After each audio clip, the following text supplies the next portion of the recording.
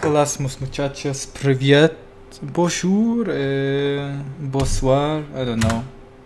I don't know, I don't know. Hello everyone, Railgan again with another ZvT. Tree Roach Opener. A thing that haunts a lot of Terrans in their dreams. And a thing that gave a lot of Zergs a lot of MMR. It's practically daily, or at least when I stream ZV, um, some SC2 is that the question pops up, Railgan, can I still play the Free Roach opener? Does it still work? I mean the build is really old. I always say, yeah, of course it can still play the Free Roach opener with Arc, but, but how does it work? I mean Cyclones and tanks? I make this video like once a month, I feel, but I'm going to do it again because another patch happened so let's have another look at how Railgan plays the free roach opener.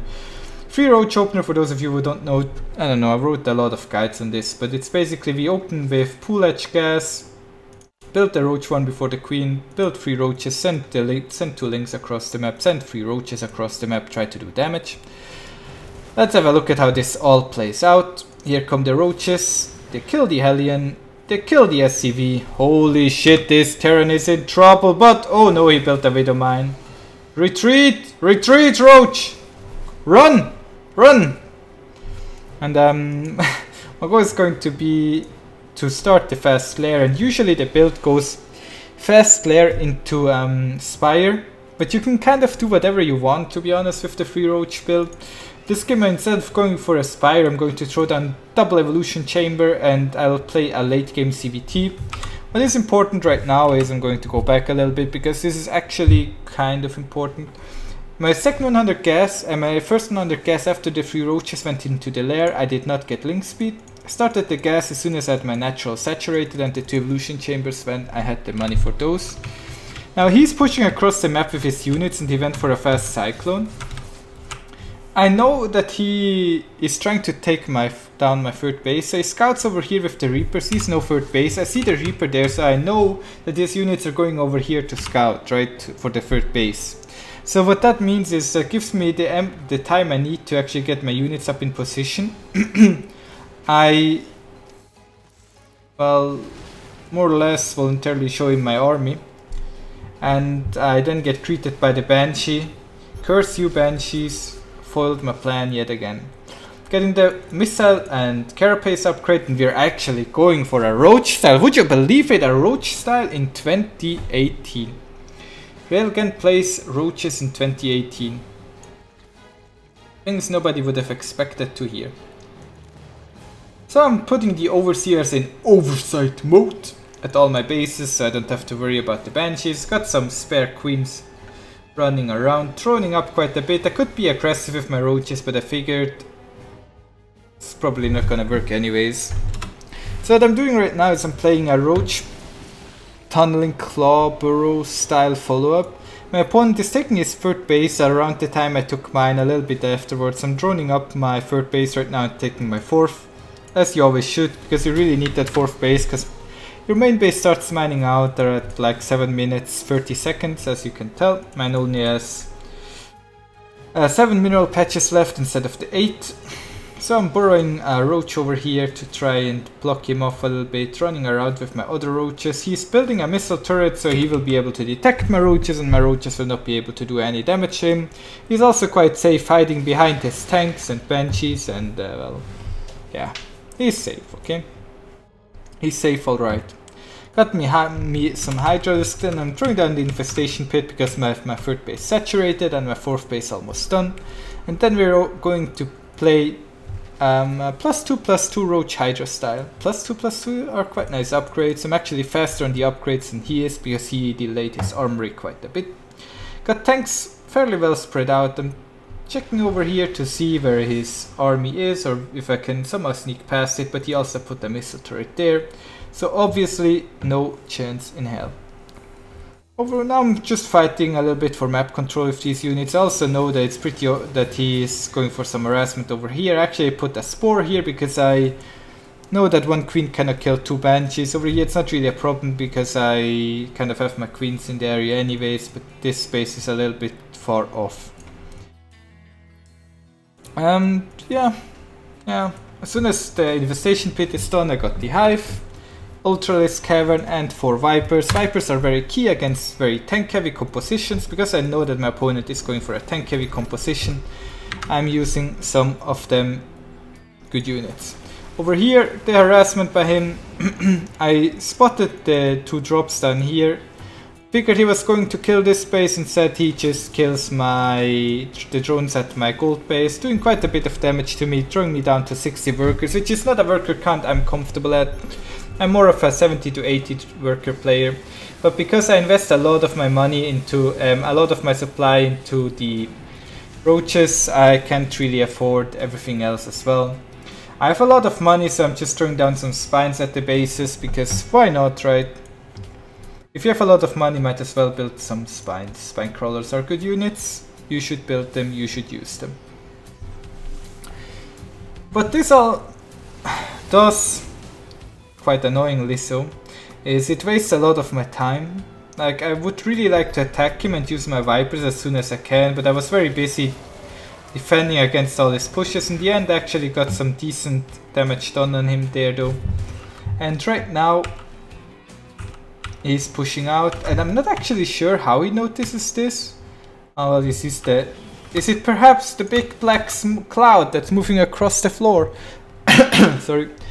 But he sees my roaches here, and I'm trying to set up um, an engagement on his tanks. I'm checking over here if he's taking the gold base. So I see his tanks and I move my units um, all over his tanks so I can do a lot of friendly splash damage and then I'm closing in with the rest of my army. Trying to decimate his tank count as good as I possibly can, throwing down some blinding clouds, but it's not quite enough. I'm able to clean up most of his tanks here, but still three tanks remain and his reinforcements as well. The drop down here eventually gets cleaned up. I just moved the drones away from this space. I got Ultralisks out now. I don't really have Vipers left. Uh, the Banshee over here eventually gets shut down by the Spore Queen combination as well. Or Hydras, I don't know what killed it eventually, but it got cleaned up.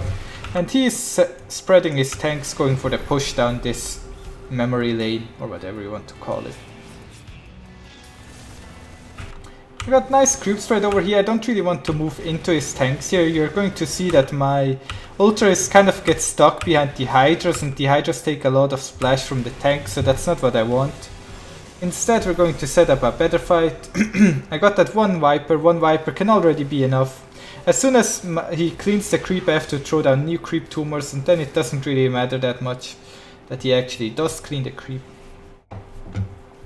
And yeah, my worker count is still fairly low. I kind of used up my money by building all the Ultralisks as well. I'm now building lings because he's going for a very tank heavy composition and things are actually good against mass tank. And here we see how I'm setting up for this engagement. I'm putting some Ultralisks down here. The Vipers are coming in from the side to throw down the Blinding Clouds and I could also attack him from here, but my core army will attack him from this angle. So here we go. Ultra is fighting against the Lynx down here. Here come two more Ultras. Then my my Vipers are flying in. I'm wasted, I've not wasted, but I used one Blinding Cloud and three tanks here. Going in deeper, seeing the next spot with the three tanks, Blinding Cloud, and no, none of his tanks can actually fire, and I'm able to clean this push up easy peasy, lemon squeezy, no questions asked. And of course, as soon as I clean up one push of the Terran, another attack comes and cleans up my gold base and I'm... I feel like I lost anyways, right? So what I'm doing right now is I'm going for the Great Spire into Broodlord Corruptor, Shenaniganery, Shenaniganeroo. All the good stuff. Attacking him over here, uh, I'm kind of getting a decent fight, I'm cleaning a lot of his bio army, but eventually his reinforcements with tanks over here are kind of being a little bit of a of a fun killer, and I'm losing a lot of my units as well. We're now kind of even in supply, but he of course has mules, so supply is always a little bit dangerous to look at because he has a he has very good income thanks to his mules. I'm able to clean up a lot of his economy over here regardless though, which is quite nice. Oh, Here's another little, little trick that I did right here.